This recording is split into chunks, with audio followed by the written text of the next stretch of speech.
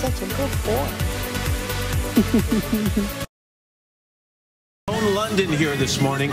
She's been so open and so candid about her battle with breast cancer. We're going to check in with Joan and find out where she is right now.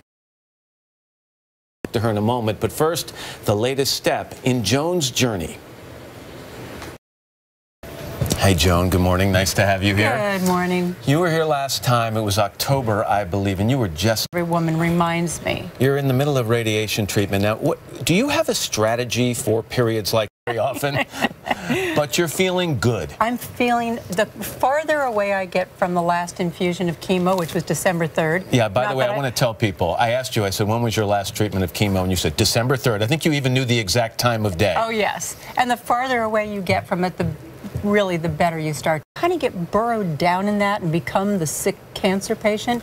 And if you go outside, you take a walk, you get some endorphins going, be with people. Go out to a movie, laugh, yeah, you have a tip. You, actually, that leads right in. This tip you off all the cancer in our body. After radiation's over, how often will you have to be monitored? Uh, three.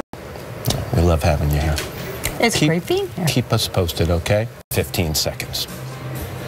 Yeah, they've, they've just been incredible. You